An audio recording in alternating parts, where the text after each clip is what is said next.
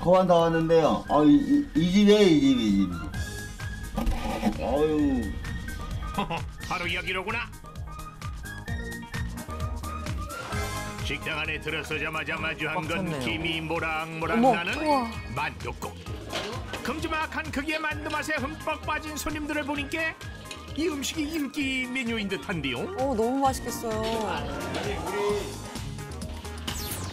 그런데 보통 어? 만둣국이 아니다. 칼국수까지? 만둣국 안에 숨어 있는 건 다름 아닌 칼국수. 와. 칼국수, 송칼국수. 아 이게 칼국수도 있어요. 만두 속에 칼국수가 숨어 있어가지고 아주 색다르게 맛있습니다.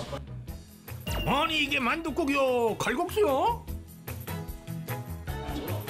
만두와 칼국수를 동시에 즐길 수 있으니 그야말로 금상첨화다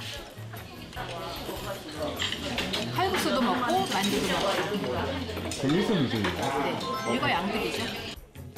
거기에 하나 더 만두 역시 특별한 맛을 자랑하는데 속을 꽉 채운 건 애호박? 애호박 오.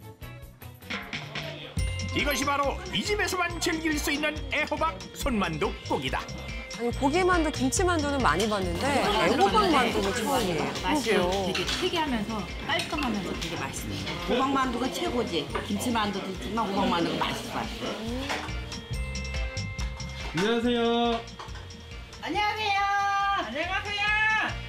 오늘의 주인장 자매를 소개합니다 저는 포천에서 음, 나서 자라서 그래서 이제 여기 사장을 맡고 있는 배은영입니다. 주방 쪽을 맡아가지고 하자 그래가지고 주방을 맡고 있는 언니예요. 직장 생활을 하다가 오래 하다가 아 이제 그만두게 됐고 그 호박 만두를 많이 접했으니까 할머니 엄마가 많이 만들어 주셨을 때 그그 맛이 너무 좋았던 거 기억에 있어서 같이 한번 해보자. 어린 시절 할머니와 어머니가 만들어준 손만둣국.